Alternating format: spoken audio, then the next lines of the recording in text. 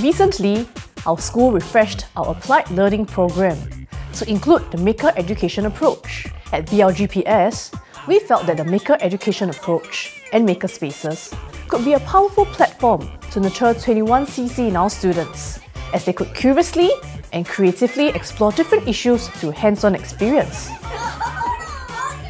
I like that I can explore and build things with my friends. We made a big project with the microcontrollers. I've learned a lot of things, like working together, listening to others' opinions. We leverage project work in our school to align our Maker Education approach with other activities, such as our Learn for Life and Values in Action programs.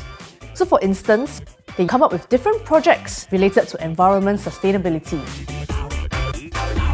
This project is to teach us about that we are polluting the earth and we should stop. The towers are to show that we are releasing greenhouse gas into the world. The fire is to show that all the smoke that we cause is polluting the earth. I use the microcontroller to detect if the trees are falling. I want to tell everyone that if all the forests are burned, there will be more global warming. I personally believe it's important to start maker education from a young age for our students. They have lots of ideas and they are really creative and they just can't wait to do things with their friends and create their own projects.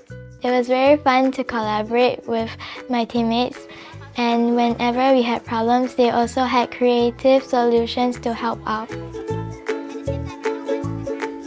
When they grow older and build up their thinking skills, of course they can get more complex and sophisticated in their projects, but that whole spirit of willingness to try, that courage, already was stamped or seeded in them from young.